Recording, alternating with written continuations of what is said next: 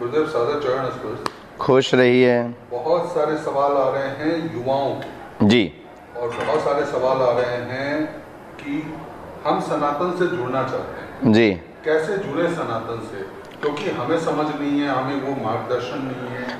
जिन्होंने कहा कि हम सनातन से जुड़ना चाहते हैं जी हम- दवेश जी हैं कोई। हम उनको प्रार्थना करेंगे कि पहले तो आप ये निर्णय करो कि आपने किसी और धर्म में जन्म लिया है क्या? आप सनातन से जुड़ना क्या चाहते आपकी तो पीढ़ी दर पीढ़ी और रंग रंग में सनातन भरा है। अब उसको पहचानना और उसके प्रोटोकॉल का निर्वाहन करना अगर आप पूछो तो कोई प्रश्न है? तो कोई प्रश्न की बात बने। वरना आप तो सनातनी हो। और अगर आप सनातन पर पूर्ण समर्पण होना चाहते हैं तो ये कोई प्रश्न होगा, ये कोई जिज्ञासा होगी, ये कोई बात होगी। उसके लिए आप बहुत सहजवश, हम सनातन का मतलब आदि है।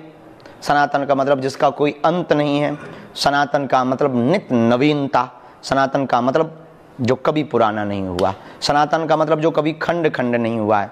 तो आप ऐसे अनंत धर्म के अंतर्गत, सनातन के अंतर्गत ही हो, बस मस्तक पर तिलक, माला, नई जागृति नई सोच और राष्ट्रहित की वार्ता के लिए जगो।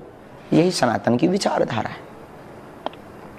दीपिका पांडे बहन है वो कह रही है गुरुजी प्रणाम मेरी तबीयत हमेशा खराब रहती है मानसिक तनाव रहता है नौकरी नहीं लग रहा है। गुरुजी बहुत मेहनत कर रही है। आप कोई ऐसा उपाय बताएँ कि मैं स्वस्थ भी रहूँ और नौकरी भी मिल जाए? आप घर बैठ कर के अर्जी लगा लें दीपिका बहन जी।